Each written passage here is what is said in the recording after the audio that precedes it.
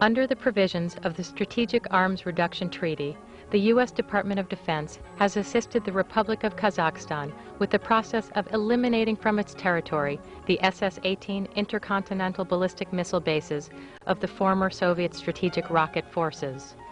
The U.S. Defense Threat Reduction Agency's Cooperative Threat Reduction Office managed this effort, which was supported by Nunn-Lugar Cooperative Threat Reduction Funds.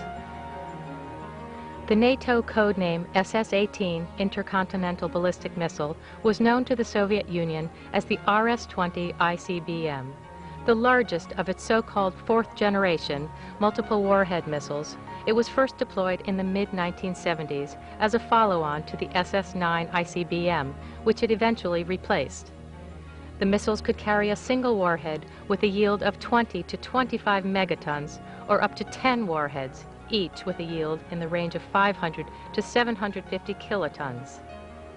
The six Soviet SS-18 bases, three of which were in Kazakhstan, were host to more destructive power than any other Soviet ICBM missile class, by one estimate totaling nearly 1,700 megatons, or about 85,000 times the yield of the nuclear bomb dropped in Hiroshima in the Second World War. This power could be delivered by the SS-18 missiles to distances of up to 8,000 miles with an accuracy of less than 1,000 feet. The silos that housed the SS-18 missiles were also unique and in 1984 were described by the U.S. Department of Defense as the world's hardest silos. These were modified SS-9 missile silos that had been deepened to accommodate the larger SS-18 rocket and hardened to withstand up to 7,000 pounds per square inch by some U.S. estimates. The Strategic Arms Reduction Treaty, or START 1, which was signed in 1991 and entered into force in 1994, limits the number of strategic nuclear warheads, those that can be targeted at distances over 3,000 miles. Although the treaty was negotiated between the United States and the Soviet Union prior to the breakup of the USSR, the newly independent Republic of Kazakhstan agreed to remove the more than 1,000 strategic nuclear warheads that existed on its territory and signed the Nuclear Non-Proliferation Treaty. The dismantled SS-18 missile bases are located at Zhengiz-Tobe, Leninsk, and Derzhavinsk. Test silos at the Balapan nuclear test field were also eliminated. As of November 1998, the dismantlement work was completed at all sites. The START 1 protocol defines a process for the elimination of the ICBM silo launchers, which includes First, removal, dismantlement, or destruction of the silo door and headworks, either by excavation or blasting. This step of the dismantlement process was completed by the Russian Federation by the end of 1995. Second, filling the silo to the level of the base of the excavation or explosion crater. And, after a period of at least 90 days, grading of the site by filling with earth the Defense Threat Reduction Agency hired Brown and Root ABB Susa Incorporated, a joint venture, as the prime contractor to complete the dismantlement of the ICBM sites in Kazakhstan. Brown and Root ABB Susa maintained a 12-person support camp near each of the sites involved until the dismantlement, regrading, and site turnover was complete. Each dismantlement group included one or two U.S. site managers and up to 10 local support personnel, such as construction supervisors, drivers, and translators to oversee between 60 and 80 local subcontract workers who perform the demolition and regrading work using local equipment. In general, an ICBM silo regiment consisting of seven silos could be dismantled in about two months, and two or three regiments could be worked simultaneously.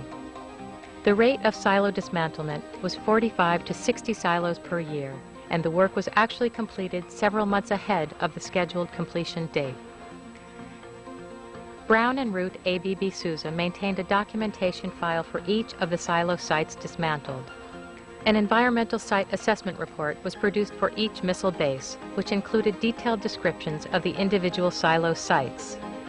These reports also include descriptions of soil samples that were collected for hazardous materials analysis, the site vegetation, the buildings and near-surface facilities directly associated with the silo, and the condition of the silo itself. These reports focused on the detection and identification of hazardous surface and near-surface materials to determine potential health and safety risks to on-site personnel and consequently their impact on the dismantlement efforts at that site. These files included extensive site maps which locate the silo and associated structures, as well as plan and cross-section architectural drawings of all of the surface and subsurface structures at the site, including cross-sections of the silo down to the 6-meter destruction level called for in the START 1 protocol. The Russian military removed the missiles from the silos and all equipment and supplies from the site by the mid-1990s. Prior to the departure of Russian military units, most of the silos were destroyed by the detonation of explosives placed around the headworks. These blasts demolished the silo door, headworks wall, and silo door pocket and produced a crater centered over the silo tube, about 6 meters deep and up to 25 meters across. In many cases, the crater exposes the underground entrance into the launch control center, as well as the barbette wall encircling the silo headworks. The blasts commonly upended the silo door pocket and flipped the one meter thick, 120 ton silo door onto the crater lip.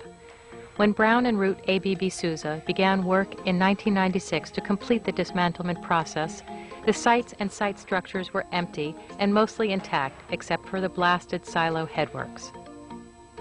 The process of site dismantlement can be summarized in three major steps. Initial site assessment, site demolition and reclamation, and administrative acceptance of the completed graded site and formal turnover to the Kazakhstan Land Commission. Before dismantlement work was started, a physical inspection of the site was performed including screening for hazardous wastes and conditions. Air quality and radiological surveys were conducted, and soil and groundwater sampling sites were identified in order to locate and characterize the nature of any surface or near-surface chemical or radiological contamination. In general, contamination was minor.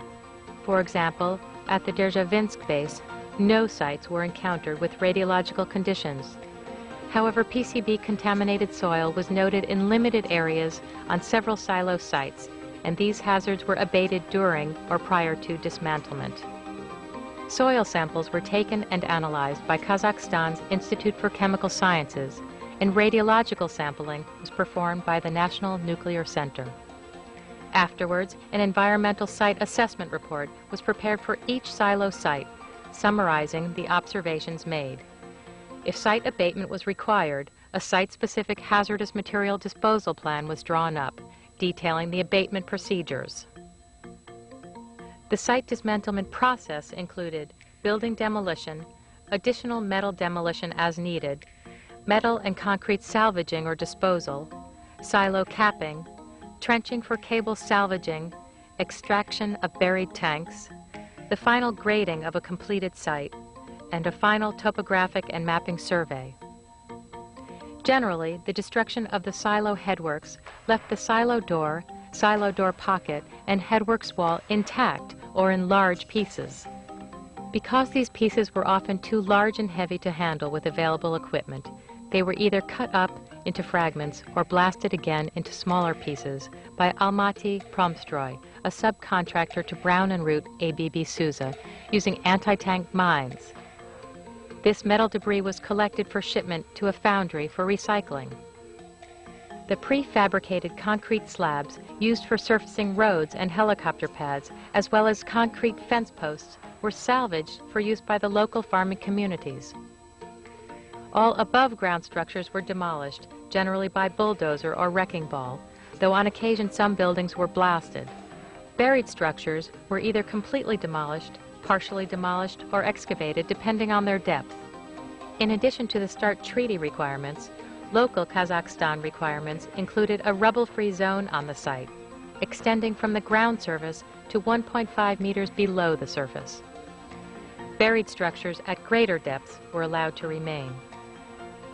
Trenches were excavated to provide access to the headworks metal and silo tube, rubble and other non-salvageable debris were pushed into the silo tube. When the 30-meter-high silo tube was filled to capacity, it was then capped with a reinforced concrete shield one half meter thick and about 8 meters in diameter. After the cap was placed over the tube, the silo crater, which is about 6 meters deep, was filled with additional rubble to about 1.5 meters below the level of the final ground surface.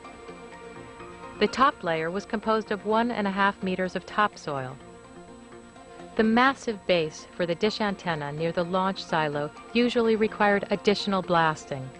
The base, which is composed of reinforced concrete nearly 7 meters in diameter and up to 4 meters thick, was cut at a depth of 2 meters, then rimmed with mines and blasted. The resulting rubble was buried in place or extracted for burial in a trench. Trenches were also excavated alongside the larger buildings and shallow buried tunnels. Like the trenches near the silos, they were filled with debris to a level 1.5 meters below the level of the final ground surface. The remaining space was backfilled with earth, followed by up to one half meter of topsoil.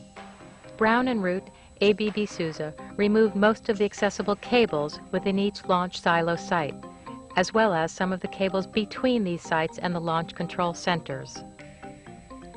After all the above ground structures were demolished and the debris buried, the silo filled, capped, and buried, and all metal removed from the site or buried, the site was then graded by bulldozer to conform to the surrounding topography.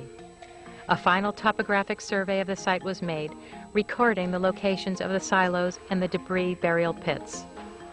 The original plans called for reseeding the site with indigenous vegetation, although at Derzhavinsk, the local farming community requested that no seeding occur since they intend to convert some of the reclaimed land for wheat farming.